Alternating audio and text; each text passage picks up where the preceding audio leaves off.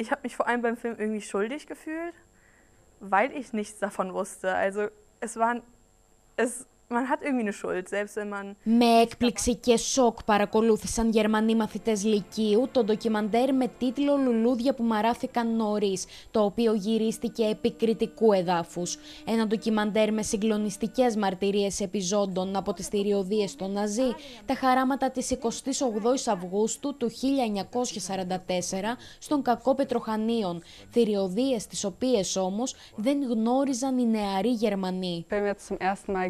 Habe, war ich äh, schon ein bisschen geschockt, weil ich wusste gar nicht, dass wir Deutschen zu sowas imstande sind.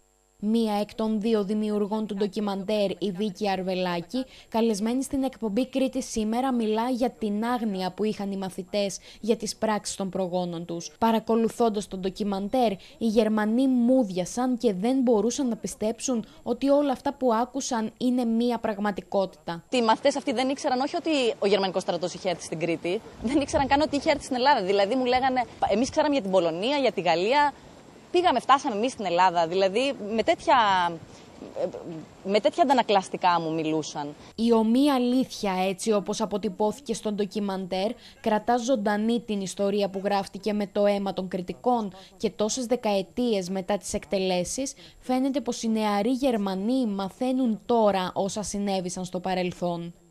Και τους σκοτώσαν και τα τέσσερα παιδιά και εκείνη τους μαγείρευε μέσα, δεν ήξερε ότι τα σκοτώσανε και βγήκε και τα βρήκε σκοτωμένα.